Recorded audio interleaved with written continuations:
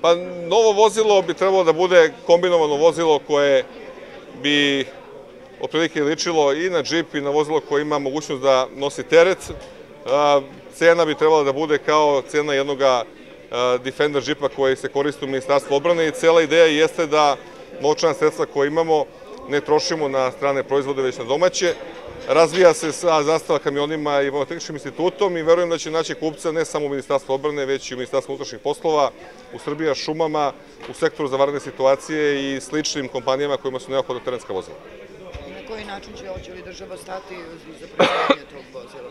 Država je već stala, mi smo već određena sredstva dali da se razvije prototip, a nakon toga mi smo sigurni kupac, tako da ukoliko imate kupca, ne postoji niko ko ne bi želeo da pravi fabriku i da pravi proizvod. Jel možemo da znamo koje sredstvo je država dala? Pa za prvi prototip, cijela sva sredstva koja su bila neophodna.